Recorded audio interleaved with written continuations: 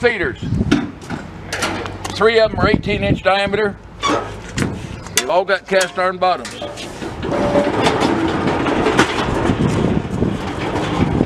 The height is 34 inches.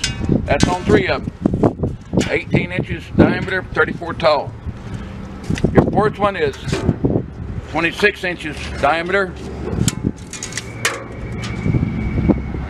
40 inches tall. This is nine six feeder. Get all four of for one money.